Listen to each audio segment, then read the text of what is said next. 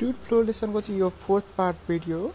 First part second part र third part भिडियोको link चाहिँ मैले डिस्क्रिप्सनमा हालिदिएको छु र यो फोर्थ पार्ट चाहिँ हाम्रो यो लेसनको अन्तिम भिडियो हो। अब यहाँदेखि चाहिँ हामी यो लेसनलाई कम्प्लिट गर्छौँ। मैले थर्ड पार्टमा मेजर हेड लस फ्रिक्सनको बारेमा भिडियो बनाएको थिएँ भने अब यो हाम्रो फोर्थ पार्ट चाहिँ minor head loss due to sudden expansion exit loss यिनीहरू हुँदाखेरि जुन हाम्रो माइनर हेड लस हुन्छ नि यसको बारेमा हुनेछ। अब यो भिडियोलाई चाहिँ होइन माइनर हेड लस होइन ड्यु टु सडन एक्सपान्सन चाहिँ यो चाहिँ के हो त्यहाँबाट स्टार्ट गरौँ। माइनर हेड लस हामीले चाहिँ कुनै पनि पाइपलाइनमा चाहिँ फ्लुडलाई फ्लो गराउँदाखेरि होइन अब त्यो पाइपलाइनमा भएको कम्पोनेन्ट जस्तै बेन्डिङ होइन त्यसमा पाइपलाइनमा जोडेको फिटिङ भल्भहरूको कारणले चाहिँ प्रेसर लस हुन्छ क्या। यानि कि हेड लस हुन्छ जसलाई चाहिँ हामी माइनर हेड लस भन्छौँ। या यसलाई लोकल लस पनि भन्ने गरिन्छ।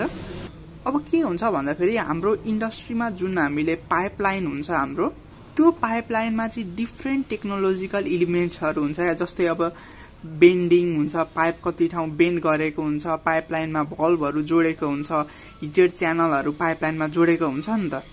जस्तै अब डेरी इन्डस्ट्रीमा पनि हेर्दाखेरि हामीले अब डेरी इन्डस्ट्रीमा के सिधा मात्र पाइप हुन्छ त होइन? अब त्यो पाइप त कति ठाउँ बेन्ड गरेको हुन्छ अब त्यो पाइपमा कति ठाउँ अन अफ गर्ने भल्भ जोडेको हुन्छ होइन? कति ठाउँ कन्ट्रोल भल्भहरू जोडेको हुन्छ नि त। भनेपछि अब हाम्रो इन्डस्ट्रीमा हुने पाइपलाइन सिस्टममा डिफ्रेन्ट टेक्नोलोजिकल इलिमेन्टहरू जोडेको हुँदो रहेछ। अब यो इलिमेन्ट कम्पोनेन्टहरू जोड्छौँ हामीले पाइपलाइन सिस्टममा होइन जोड्नै पर्छ र यिनीहरूले चाहिँ के गर्छ भन्दाखेरि हाम्रो ओभरअल सिस्टममा चाहिँ हेड लस कज गराउँछ क्या। र यो इलिमेन्टहरू बेन्डिङ फिटिङ बल्ब्स होइन अब हिटेड च्यानलहरूको कारणले हुने लस जुन छ नि हेड लस यसलाई चाहिँ हामी माइनर हेड लस भन्छौँ। अब यो माइनर हेड लसले चाहिँ थोरै प्रेसर या हेडमा लस कज गराउने भए तापनि के हुन्छ भन्दाखेरि चाहिँ हाम्रो इन्डस्ट्रीमा त सर्ट डिस्टेन्समा पनि पाइपको सर्ट डिस्टेन्समा पनि अब धेरैवटा बेन्डिङ हुन्छ होइन? अब कति ठाउँ पाइपहरू बेन्ड भएको हुन्छ हामीले कति ठाउँ भल्भहरू जोडेको हुन्छौँ नि त। अब सर्ट डिस्टेन्समा पनि क्या। अब मेजर हेडलस यानि फ्रिक्सनको कारणले हुने हेडलसलाई पनि यसले जितिदिन्छ।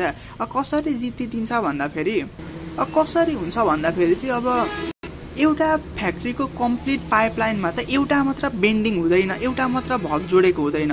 अब फ्याक्ट्रीको पाइपलाइन सिस्टममा कतिवटा भल्भ कतिवटा बेन्डिङहरू कम्बिनेसन भएर हाम्रो एउटा फ्याक्ट्रीमा कम्प्लिट पाइपलाइन सिस्टम बन्छ नि त। भनेपछि एउटा बेन्डिङले चाहिँ थोरै हेड लस गर्न कन्ट्रिब्युट गर्थ्यो भने अब त्यहाँ त निकैवटा बेन्डिङले त अब धेरै हेड लस गर्नको लागि कन्ट्रिब्युट गर्ने भयो नि त। अब यो सबै यो माइनर हेड लस बेन्डिङहरूको कारणले आएको हेड लसलाई चाहिँ सबै जोड्ने हो भने चाहिँ यसले अब मेजर हेड लस फ्रिक्सनको कारणले हुने हेड लसलाई पनि जित्तिन्छ क्या कहिलेकाहीँ। त्यही भएर चाहिँ हामीले यो माइनर हेड लसलाई पनि केयर गर्नुपर्छ क्या। अब चाहिँ हामी सडेन एक्सपान्सन हुँदाखेरि चाहिँ आउने हेड लसलाई हेरौँ। अब यहाँ के भएको छ भन्दाखेरि पाइप यहाँसम्म ठिकै थियो होइन। यहाँबाट चाहिँ एक्कासी यो पाइप अब एक्सपान्ड भयो होइन एक्सपान्ड भएर गएको छ नि त। जब यसरी एक्सपान्सन हुन्छ तब अब यहाँबाट पाइपबाट फ्लुइड त फ्लो गरिरहेछ। त्यो चाहिँ अब यो पाथ फलो गरेर चाहिँ अब फ्लो हुने भयो होइन? यो पाथ डट देखाएको। अब यसरी गयो भने त अब यहाँ त अब खाली एरिया जेनेरेट हुने भयो नि त। यहाँ पनि खाली एरिया जेनेरेट हुने भयो। अब यसैको कारणले चाहिँ हाम्रो हेड लस हुन्छ क्या। अब यसलाई चाहिँ हल्का डेरिभेसन गरेर बुझौँ ल। अब यही फिगरलाई चाहिँ यसरी हेर्दाखेरि अब यहाँ चाहिँ अब पी वान प्रेसर जेनेरेट भएको छ होइन। भनेपछि यसको एरिया ए वान छ। अब यतातिर लागेको प्रेसर पी वान छ। यहाँ होइन अब एक्सपान्सन हुँदाखेरि जुन यो खाली ठाउँ जेनेरेट भएको छ नि यहाँ पनि प्रेसर त पी वानै हुन्छ। अब यताबाट चाहिँ अब अपोज गर्ने चाहिँ पी टू प्रेसर हुन्छ। जसको एरिया ए टू हुन्छ होइन यसको एरिया अब यताबाट चाहिँ हामीले टेन न्युटन फोर्स एप्लाई गरेको छौँ अरे र उताबाट अपोज गर्न चाहिँ अब टु न्युटन फोर्स लागेको छ अरे। भनेपछि बाँकी रह्यो कति भन्दाखेरि एट न्युटन फोर्स बाँकी रह्यो नि त। भनेपछि त्यही एट न्युटन फोर्सको कारणले चाहिँ यहाँ अब फ्लुइड फ्लो हुन्छ क्या। यताबाट फोर्स कति लागिरहेको छ भन्दाखेरि हामीलाई के थाहा छ भन्दाखेरि प्रेसर भनेको फोर्स बाई एरिया भन्ने थाहा छ। भनेपछि यताबाट लागेको फोर्सलाई हामीले P one into A one लेख्न मिल्छ नि त होइन? P one into A one अब यताबाट नेगेटिभ फोर्स आइरहेको छ यसलाई अपोज गर्ने फोर्स भनेको minus P two A two लेख्न पाइयो नि होइन? प्रेसर इन्टु एरिया लेख्न पाइयो। अब यो ग्यापमा जुन प्रेसर जेनेरेट भएको थियो नि पी वान त्यो पनि यतैतिर गएको छ नि त। भनेपछि पी वान होइन? अब एरिया चाहिँ के हुन्छ भन्दाखेरि अब एरिया चाहिँ अब यो सर्कुलर फिगर हेरौँ ल भित्रको सर्कलको एरिया चाहिँ ए वान छ अरे बाहिरको सर्कलको एरिया ए टू छ अरे। भनेपछि अब यो बिचको सर्कलको एरिया त हामी A two minus A one लेख्न मिल्छ नि त। त्यसै गरी अब यहाँ पनि हामीले के लेख्न मिल्छ भन्दाखेरि अब यसको एरिया ए वान हो यो ठुलो अब एक्सपान्सन भइसकेपछिको एरिया ए टू हो। अब त्यही A two minus A one गर्दाखेरि यहाँको एरिया निस्किने भयो नि त होइन? अब यो सबै फोर्स जोड्दाखेरि के हुन्छ? समेसन यफ हुन्छ। यही फोर्सको कारणले चाहिँ हाम्रो फ्लुइड फ्लो भइरहेको हुन्छ। मैले अघि भने नि त यताबाट हामीले टेन न्युटन फोर्स सप्लाई गरेको छौँ उताबाट two newton force opposing force आएको छ। हाम्रो भयो कति भन्दाखेरि घटाउँदाखेरि एट न्युटन फोर्स जसको कारणले यो फ्लुइड फ्लो हुन्छ भने नि अब यही फोर्सको कारणले चाहिँ यहाँ फ्लुइड फ्लो हुन्छ क्या अब यो फोर्स निकाल्नलाई चाहिँ हामीले न्युटन सेकेन्ड ललाई फलो हेर्नुपर्ने हुन्छ क्या। है? हामीले फोर्सलाई के पनि भन्न पाउँछौँ भन्दाखेरि rate of change of momentum भन्न पाउँछौँ नि। Rate of change of momentum भनेपछि अब m v two minus v one by t हो होइन? अब हामीलाई डेन्सिटी भनेको मास पर युनिट भोल्युम भन्ने थाहा छ। भनेपछि हामी मासको ठाउँमा डेन्सिटी इन्टु भोल्युम लेख्न पाउँछौँ। त्यसो भए त्यो मासको ठाउँमा म रो इन्टु भोल्युम लेख्न पाउँछु होइन? त्यसै गरी अब v two minus v one by t त छँदैछ। अब भोल्युम भनेको एरिया इन्टु लेन्थ या एरिया इन्टु हाइट म लेख्न पाउँछु नि त होइन? त्यही गरेको क्या। यहाँ अब अब यो लेन्थ बाई टाइम भनेको त हामीलाई भेलोसिटी भन्ने थाहा छ नि त होइन? यानि कि डिस्टेन्स बाई टाइम भनेको भेलोसिटी हो। भनेपछि के लेख्छु म भन्दाखेरि रो ए इन्टु भी होइन? V two minus v one लेख्न पाउने रहेछु नि त मैले। त्यसै गरी क्यु भनेको चाहिँ एरिया इन्टु भेलोसिटी हो क्या? त्यही भएर मैले एरिया इन्टु भेलोसिटीको ठाउँमा क्यु लेखेँ है। भनेपछि अब यो हाम्रो के आयो final equation rho Q v two minus v one अब यसलाई चाहिँ म यो भनेको त हाम्रो फोर्स हो नि त। अब यसलाई चाहिँ म लगेर यहाँ चाहिँ लगेर सब्सिट्युट गर्छु क्या। यो अघिकै यताको इक्वेसनलाई मैले लेखेको हो क्या। अब यो इक्वेसनलाई सल्भ गरौँ है। अब P one A one minus P two A two plus अब यहाँभित्र मल्टिप्लाई गरौँ। मल्टिप्लाई गर्दा के आउँछ भन्दाखेरि P one A two minus P one A one अब P one A one P one A one cancel भयो होइन? अब मैले यसको ठाउँमा यो राखेँ भनेपछि rho Q B two minus B one आयो। अब यहाँ काटेर के बाँकी रह्यो भन्दाखेरि P one A two minus P two A two is equals to rho Q B two minus B one अब म यहाँ ए टू कमन तान्दिन्छु ए टू कमन तानिदिँदा फेरि मेरो के बाँकी रह्यो भन्दाखेरि P one minus P two is equals to rho Q B two minus B one भनेपछि अब फाइनल मेरो इक्वेसन के आउने रहेछ भन्दाखेरि अब मैले P one minus P two by यो रोलाई यता ल्याइदिएँ होइन? क्यु छँदैछ यही Q P two minus P one मैले ए टूलाई यता लगिदिएँ। अब यो जुन हाम्रो आएको छ नि इक्वेसन म यसलाई चाहिँ अब एकछिनमा बर्नालिस थ्योरममा लगाएर हालिदिन्छु क्या। जुन हामीले एक्चुअल हेड लस हुँदाखेरि युज गरिन्थ्यो नि बर्नालिस थ्योरम त्यस चाहिँ म त्यसमा चाहिँ अब यो एप्लाई गर्छु एकछिनमा लगेर। अब यहाँ हामीसँग एउटा पाइप छ होइन अब एक्सपान्ड भएको छ नि। अब यो पोइन्ट र यो पोइन्ट चाहिँ पोइन्ट वान र पोइन्ट टू चाहिँ एउटै हाइटमा छ अरे क्या। भनेपछि अब एउटै हाइटमा छ भनेपछि त यसको पोटेन् पोटेन्सियल एनर्जी त बराबरै हुने भयो नि त होइन। हाइट सेम छ पोटेन्सियल एनर्जी सेम छ। अब म यहाँ बर्नालिस थ्योरम हेड लसको टर्ममा लाउँदैछु। अब P one by rho G plus V one square by rho G plus Z one यानी कि height is equals to P two by rho G plus V two square by rho G plus Z two height plus यचल head loss क्या किनकि यतापट्टिको total energy चाहिँ यतापट्टिको total energy plus head लससँग बराबर हुन्छ। यो चाहिँ मैले यो भिडियो मैले पार्ट थ्री भिडियोमा पनि निकै अगाडि भिडियोहरूमा पनि एक्सप्लेन गरेको छु होइन? अब मैले अगाडि के भनेको थिएँ भन्दाखेरि हाइट सेम छ यहाँ भनेको थिएँ नि त। भनेपछि मैले जेठ वान र जेठ टूलाई काट्न मिल्यो होइन? यो हाइट सेम छ भनेपछि मैले जेठ वान र जेठ टूलाई काट्न पाएँ होइन? अब फेरि यसलाई एकचोटि भने। सुरुमा हामीले हन्ड्रेड जुल एनर्जी पठायौँ अरे क्या अब हेड लस भएको कारणले चाहिँ उतापट्टि जाँदा चाहिँ एट्टी जुल एनर्जी मात्र पुग्यो अरे क्या भनेपछि ट्वेन्टी जुल एनर्जी त हेड लस भयो नि त। भनेपछि एट्टी प्लस ट्वेन्टी गर्दा न हन्ड्रेड हुन्छ। त्यही भएर चाहिँ यो यस्तो भएको इक्वेसन हो क्या इक्वेसन यस्तो भएको त्यही भएर चाहिँ यो बर्नालिस इक्वेसनमा चाहिँ म हेड लस एड गर्न पाउँछु क्या। होइन? नत्र त अब एक्चुअल बर्नालिस थियो भने त यति अनि यति हुन्छ नि त। तर के हुन्छ भन्दाखेरि हाम्रो बर्नालिस थ्योरम चाहिँ आइडल कन्डिसनमा हो क्या। कुनै पनि लस नभएको कन्डिसनमा अब हाम्रो हेड लस हुन्छ त्यही भएर चाहिँ हामीले यो जोडेको हो क्या हेड लस अब म यो पिटुलाई यतापट्टि ल्याउँछु होइन? अब यसलाई उतापट्टि लान्छु। त्यति गर्दा हाम्रो इक्वेसन यस्तो आउँछ होइन। अब मैले चाहिँ यो रोजीलाई चाहिँ अब यहाँ एलसिएम या कमन लिएर गऱ्यो भन्दा भइहाल्यो होइन? सेम छ। भनेपछि के आउने रहेछ भन्दाखेरि P one minus P two by rho G is equals to त्यसै गरी यहाँ टु जी टु जी छ होइन?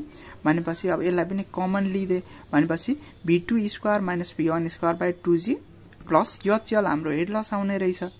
अब मैले P one minus P two by rho भनेको अगाडि के निकालेको थिएँ त? यहाँ हेर्नु है। P one minus P two by rho भनेको चाहिँ Q V two minus V one by A two निकालेको थिएँ नि त। अब यो लगेर चाहिँ म यसलाई उतापट्टि हालिदिन्छु। Q V two minus V one by A two जुन भनेको P one minus P two by rho सँग इक्वल हुन्छ। मैले अगाडिपट्टि जी त्यस्तै छँदैछ होइन? जी त बाँकी छ। अब त्यसै गरी यतापट्टिको त जस्ताको जस्तै छ। अब डिस्चार्ज क्यु भनेको चाहिँ ए वान भी वान हो नि त। बराबर हुन्छ। अब ए वान भी वान भनेको ए टू भी टूसँग बराबर हुन्छ। भनेपछि भनेपछि म Q is equals to A two V two लेख्न पाउँछु होइन? भनेपछि अब भी टूको ठाउँमा चाहिँ मैले क्यु बाई ए टू लेख्न पाउने रहेछु नि त होइन? भनेपछि अब यो क्यु बाई ए टूको ठाउँमा मैले भी टू लेख्न मिल्ने रहेछ नि त होइन? भनेपछि त्यही भी टू यहाँ लेखेको हो। अब V two V two minus V one by G होइन? अब यसलाई मैले यतापट्टि ल्याएर माइनस गरिदिएँ। Minus V two square minus V one square by two G जुन चाहिँ हाम्रो हेड लससँग बराबर हुने रहेछ। अब यसलाई भित्र मल्टिप्लाई गरिदिउँ अनि सल्भ गर। अब भित्र मल्टिप्लाई गर्दाखेरि V two into V two भनेको भी टू स्क्वायर आउने भयो। अब यो यसलाई चाहिँ मैले अब यहाँ एलसिएम लिएको। भनेपछि यो टू भएर यता मल्टिप्लाई हुने रहेछ नि त होइन?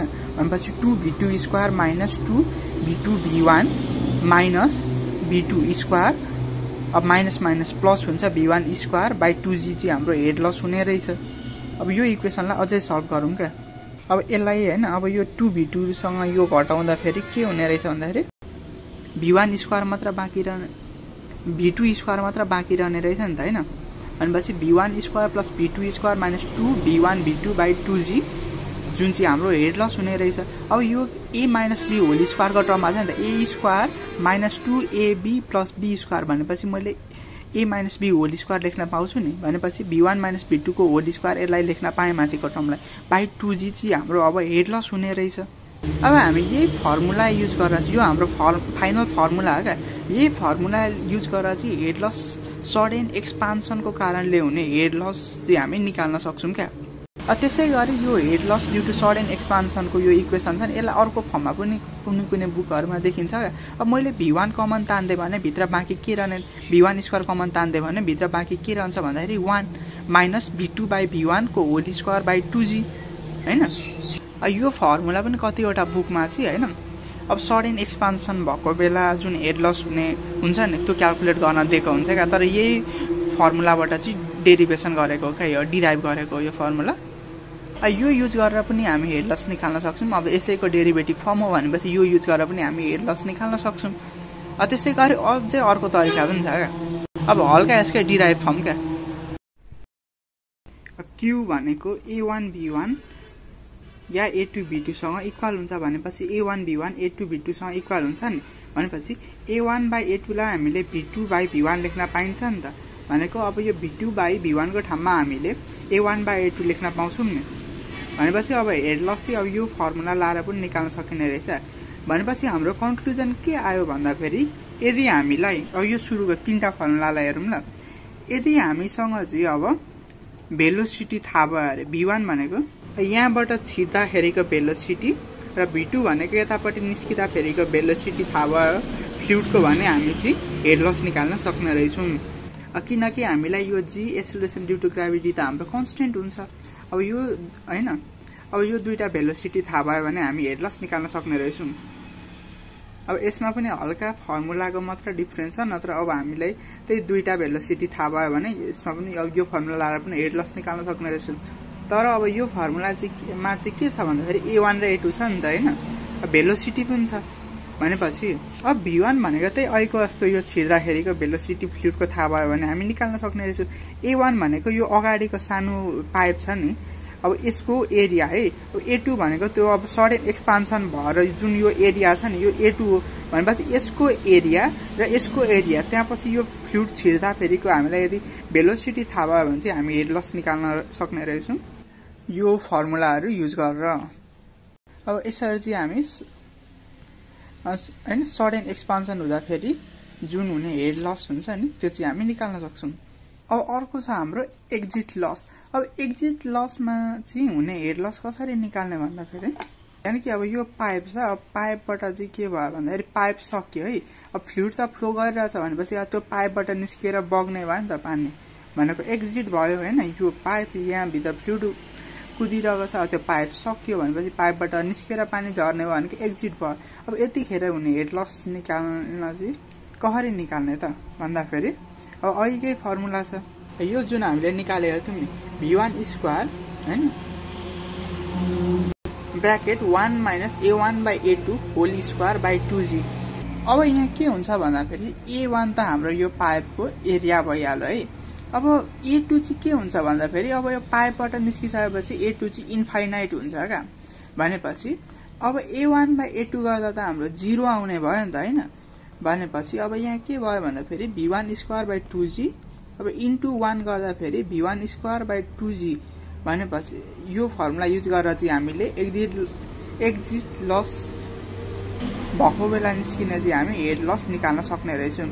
अब हामीलाई यहाँ यतिखेर चाहिँ के के चाहिने रहेछ भन्दाखेरि यो फ्लुइड यो पाइपमा जुन फ्लुइड फ्लो गर्छ नि त्यसको भेलोसिटी मात्र पनि थाहा भयो भने चाहिँ हामी हेड लस निकाल्न सक्ने रहेछौँ यो एक्जिट यो एक्जिट लस चाहिँ हामी यसरी निकाल्न सक्ने रहेछौँ।